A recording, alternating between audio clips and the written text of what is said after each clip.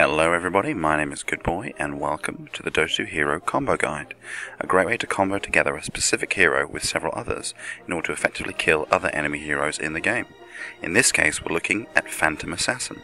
Phantom Assassin is an agility based carry who is very item dependent but is excellent for catching up with enemy heroes and dealing high damage to them. She benefits from two main passive abilities, the first one being Blur, which gives her increased evasion, and the second one being Coup de Grace, which gives her criticals on her attacks. For comboing, however, Stifling Dagger is very important, as it slows the enemy hero and deals damage. And then, of course, there's Phantom Strike, which gives her increased attack speed and allows her to jump near enemy or friendly heroes. These are perfect for comboing. Vengeful Spirit combos very well with Phantom Assassin. Not only does her magic missile damage and disable, but Wave of Terror and Vengeance Aura significantly enhance the attack of Phantom Assassin. Templar Assassin's the target.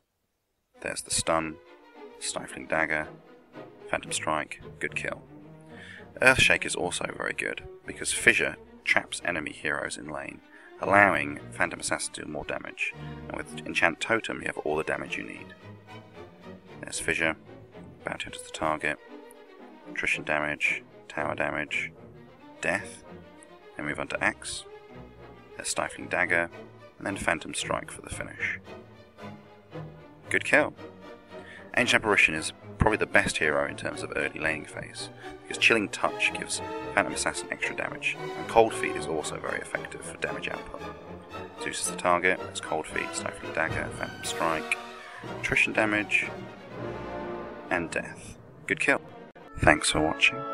Please like and share the video, and subscribe to the channel. If you'd like more combos, follow the video links.